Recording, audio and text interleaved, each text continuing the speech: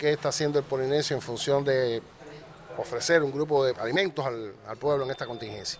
Bueno, a ver, nosotros ahora, eh, con la situación energética que estamos enfrentando, eh, el salón del Polinesio es climatizado, evidentemente no podemos prestar servicio, pero bueno, tenemos la, opción de vender acá afuera listos para la venta. Hoy tenemos eh, productos de, los podereos estatales, estamos hablando del puerto, o sea, Epicien, del cárnico eh, y del porcino, y del lácteo.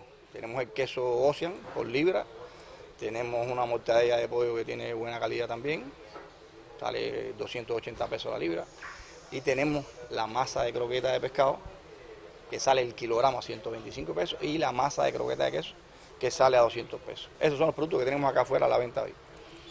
Aparte de eso también tenemos la elaboración propia, o sea, con las condiciones que tenemos hoy, eh, en el patio de la unidad, que sobre las 11, 11 y pico, 12 días, sale eh, el arroz blanco, un potaje de chícharo y estas mismas eh, masas las elaboramos y hacemos croquetas con muy buen precio entonces se hacen, es un, proceso que hago todos los días aquí.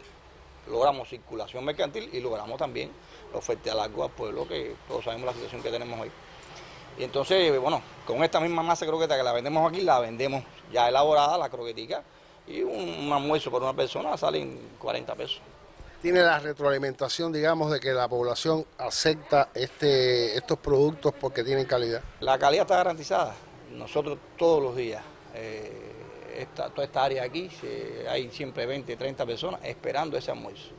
O sea, que esa es la elaboración propia nuestra, esa calidad la ponemos nosotros. Y aquí son productos que compramos de los diferentes proveedores, pero que tienen buena aceptación, incluso los mismos trabajadores las han comprado y muy buena aceptación.